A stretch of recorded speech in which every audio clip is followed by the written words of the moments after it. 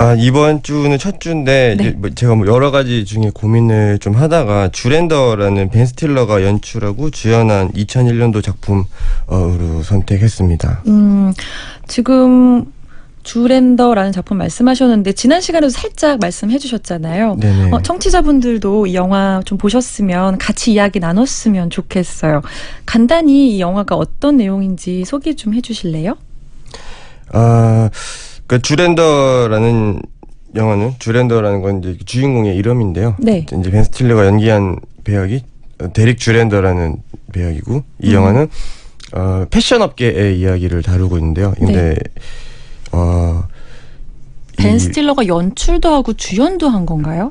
네네. 아, 벤 스틸러 원래 배우로 시작했었지만 이제 네.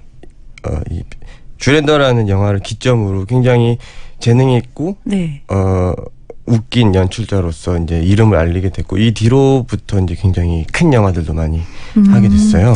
벤 스틸러가 연출을 했다니까 저는 굉장히 궁금하고 호감이 딱 느껴지는데요. 어, 우리나라에서 사실 벤 스틸러 그러면 주성치 같은 느낌 그리고 음. 약간 뭐 B급 코미디 이런 쪽으로 많이 알려져 있는데 사실 미국에서는 이 벤 스틸러가 만든 영화다. 그럼 이 영화를 이길 수 있는 영화는 거의 톰 크루즈 정도 나와야 이길 수 있는 정도의 어떤 유명세, 아. 흥행도 굉장히 하고 있고요. 아 정말요? 네네 뭐 몇 억 달러씩 벌기도 해요 어떤 아, 영화들은 그러면 이 영화에 출연하는 배우들은 또 굉장히 쟁쟁한 배우들이 나온다고 들었거든요. 누가 나오나요? 어, 여기서는 벤 스틸러, 오웬 윌슨, 윌 퍼렐 그리고 뭐 등등 다른 뭐 다른 친구들이 많이 나오는데요 사실 네.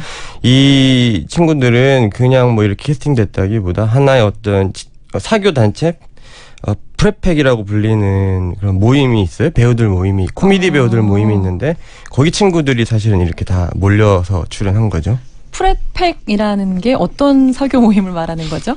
어, 그냥 뭐 헐리우드에서는 네. 옛날부터 이렇게, 이렇게 배우들끼리 친한 모임이 있는데 그런 거를 뭐 무슨 뭐 Rat Pack, 음. Brat Pack, 뭐 Brit Pack 뭐 이런 식으로 어, 많이 이름을 붙였었는데 물론 자기들이 스스로 이렇게 지은 건 아니고 이제 언론 혹은 사람들이 쟤들은 음. 저런 pack이야 이렇게 뭐 무슨 pack이야 무슨 pack이야 이렇게 붙이다가 어떤 코미디 배우들이 모인 그 모임을 이제 Frat Pack이라고 이름을 붙여줬어요. 음. 이제 그 Frat Pack은 벤 스틸러를 중심으로 해서 네. 남자 코미디 배우들이 많이 이제 들어가 있는 그런 친구. 누구 누구가 있죠 멤버 중에요?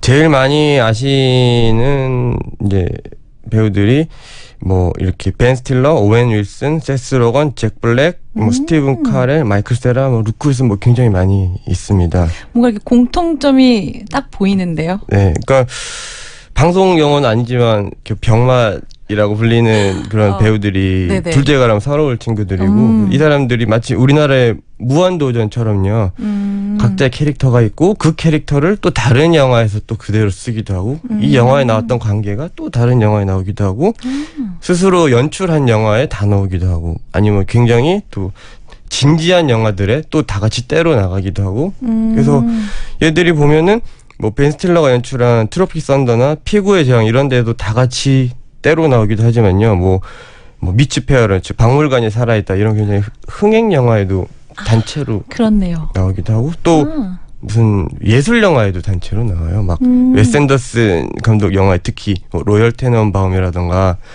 어. 그 바틀 로켓이라던가 네.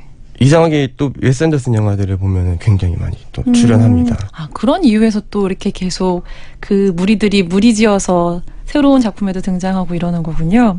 네네. 아까 뭐 주랜더 이야기 잠깐 해주시다가 제가 다른 질문을 잠깐 이야기가 끊겼는데 조금 더 스토리를 자세하게 설명해 주실 수 있을까요? 아, 그러니까 세계 패션 산업이 날로 이렇게 번창하고 있는데 네. 어느 날 이들이 어 거, 패션계 거물들이 한 자리에 모이게 돼요. 네. 이제 위기에 빠졌다고 우리가 왜 그러냐? 음.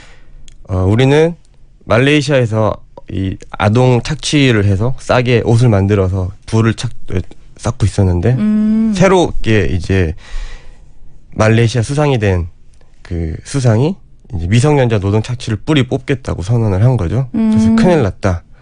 우리는 아, 수상을 암살해야겠다. 예. 그러면은 가장 멍청하고 생각 없고 하지만 패션에 빠져 있는 그런 사람이면 좋겠다. 근데 그게 바로 데릭 주랜더라는 이 영화 주인공 벤 스틸러였던 거죠. 아, 네네. 그래서 그러니까 보면 볼수록 이 친구가 계속 멍청한 짓을 계속 하니까 아, 그럼 뭔가 주제는 뭔가 사회적 문제를 대두가 딱 시켰는데 노- 미성년자 노동 착취를 뿌리 뽑자에서 시작을 해서 아 그럼 우리 패션계가 망해가니까 안 된다. 그러면서 갑자기 코믹으로 이렇게 빠지는 거네요. 아니 근데 이 영화는 네. 노동력에 대한 아동 노동에 대한 어떤 네, 안타까움이나 혹은 네, 네. 세계의 어떤 노동 문제라거나 네. 그런 전혀 관심이 없어요. 아, 그냥 그거는 패션 영화, 패션 모델이 주인공인 영화를 만들기 위해서 그냥 막 갖다 붙인 설정이고요. 아, 그냥 정말 처음과 끝이 다 그냥 코미디. 네네. 음, 네. 얘기를 들으면 들을수록 이 영화 뭐지? 이렇게 싶은 생각이 자꾸 드는데요. 노래 한 곡 듣고서 우문기 감독님과 좀 더 깊은 이야기 나눠보도록